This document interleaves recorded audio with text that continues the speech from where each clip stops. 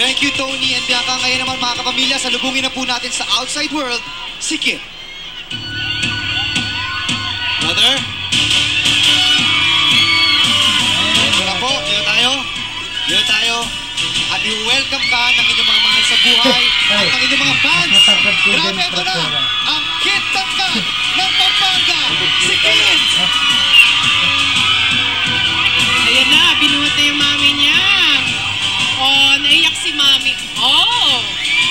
may pag-aakbay kagad na naganap dito on the side. Yes, nakaka... Close agad kami, ha? Oo, mag-close agad. Nakakabingi ang ah, sigawan dito sa labas ng bahay ni Kuya. Pero Kit, narito ang ilan sa iyong mga best memories inside the Big Brother house. Watch this. Matangkad, guwapo, malakas ang dating. Yan ang kid na pumasok sa bahay ni Kuya. Ang Kit tangkad na pagkakamalang higit pa sa edad niyang 15 pero naipakita ni Kit ang mga iba't ibang kaugalian ng isang kabataang Pinoy. Isang kabataang masayahin kasama ang mga bagong kaibigan. Kabataang totoo sa kanyang nararamdaman. Hinihita sa akin pa. Ito kasi parang naghahanap ka ng girlfriend. I know, you're the girlfriend material. Kahit minsan ay nagdudulot ng di pagkakasundo sa mga kasamahan. Kayo ang una nagpakita ng attitude niyo. Kaya kami nag Pag kayo masama sa akin, masama rin ako sa inyo. At higit sa lahat, kabataang marami pang kailangang maranasan at matutunan. At sa kanyang pamamalagi sa loob ng bahay ni Kuya, nakilala natin ang isang housemate na nagbarka sa bawat isa sa kanyang mga kasama. Sa pagtatapos ng kanyang pananatili, baon niya ang mga iba't ibang aral na naibahagi kanya ng mga taong di inaasahang makakasalamuha upang maging mas mabuting kaibigan, mas mapagmahal na anak, at mas responsabling kabataang kalalakihan. Good luck and stand tall, kid. Muli, welcome back to the Outside World Kit. At ang nag-welcome sa iyo ay ang pagiging number one trending topic worldwide ng Bye Kit. Hoy! Ano na mga... Number one trending worldwide, ha?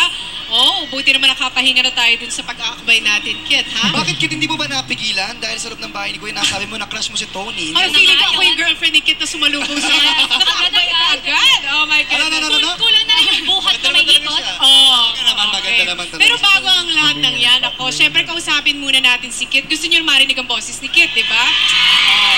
Dahil kilala si Kit na isa talaga. So actually, siya talaga ang pinaka-prangkang housemate sa loob ng bahay ni Kuya. O eto naman ang tanong namin talaga sa'yo. Sino ba among the other housemates ang para sa'yo na hindi, hindi mo talaga nakasundo? Yung talaga nagkakaproblema ka talaga sa kanya. Hirap na hirap ka. Well, nagkasundo naman kami. Pero like, usually we fight si Karen. Kasi like, talagang nagkakaaway talaga kami.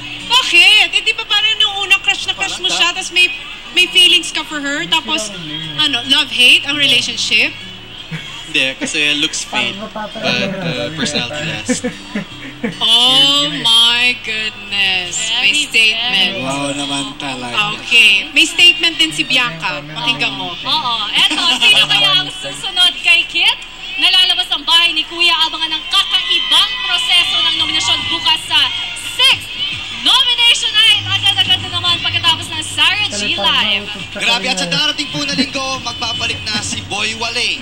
Walay rin ang kanyang international task na papakatutukan niya sa Uber 2012. Pero bago ang lahat ng yan, magpasalamat muna tayo.